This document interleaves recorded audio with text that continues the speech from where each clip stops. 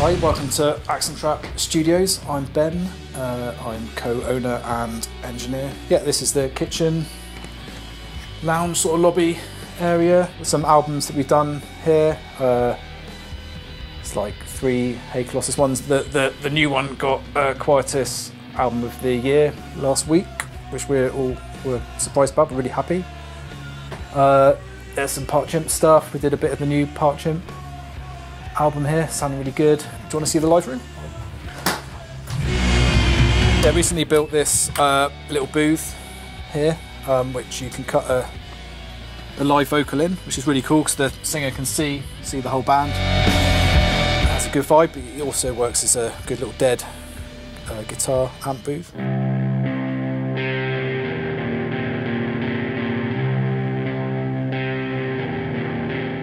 Yeah, this is one of the big assets of the studio. It's the live room.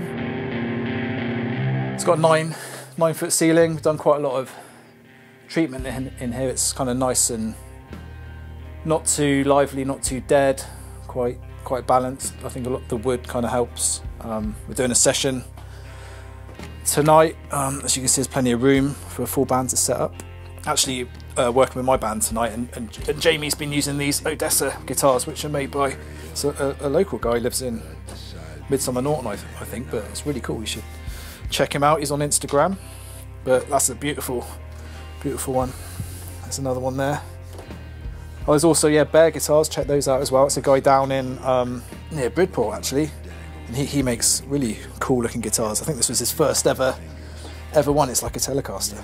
It's um, Sounds amazing. Something we, we inherited when we took the place over. We got this uh, little grand piano,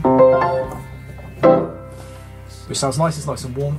Yeah, also got uh, one of these here back uh, sort of headphone systems, which is really cool. It's really nice if you're a vocalist because you can just set your headphones however you like them, or if you're tracking a band live, everyone can. It's really stress free for me, um, or you know, drummers can turn the click track up until they're brains are melting um, without me having to feel guilty about it. But yeah, really cool. Big fan of that.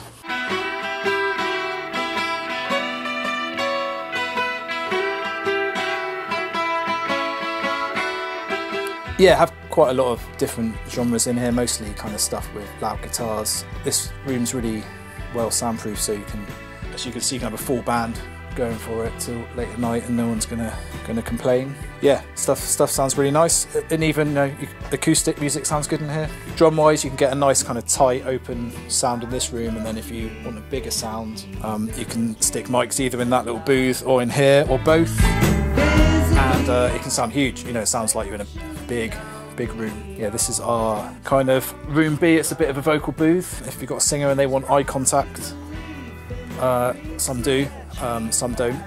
We've, we put this window in recently. And you can't hear anything through that, it's crazy. So yeah, we quite often will use this for a guitar booth. You have a Marshall stack or something raging, you shut these doors, you can't hear it on the drums. Um, it's, uh, yeah, we kind of designed the place so I like to track a band kind of live, depending on the genre. We set it so everyone can track, but everything's of isolated. Yeah, at the studio we've got a a Hammond, which we got picked up from Wales, and uh, it's, it's not a Leslie, it's a it's a Sharma, which is like a British Leslie. But uh, yeah, sounds sounds really good. Um, we've actually got two Hammonds. One one of them we're in the process of fixing. Yeah, got a really nice collection of amps here now. Um, I use this little champ a lot. It's actually really cool.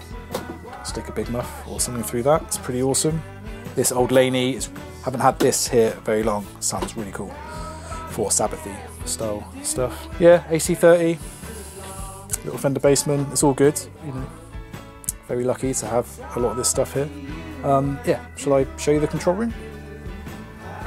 Follow me.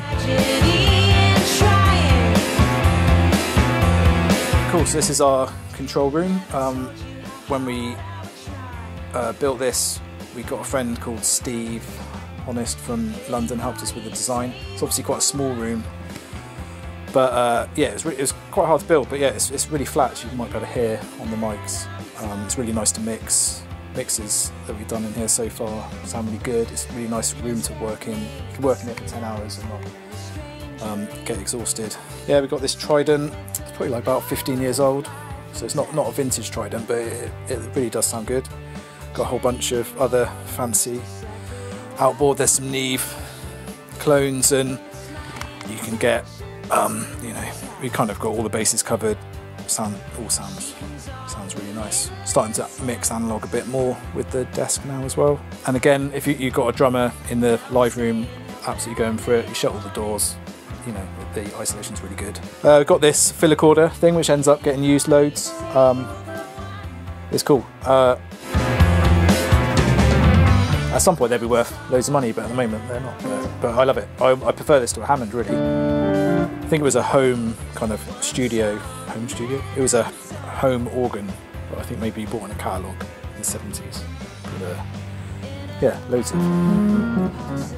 It's really fun.